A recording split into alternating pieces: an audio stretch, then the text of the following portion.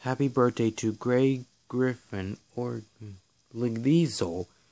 She plays many roles in the animated movies and TV shows, including Daphne from Scooby Doo and Narre from Lego Star Wars The Freemaker Adventures, and, uh, well, well, and others.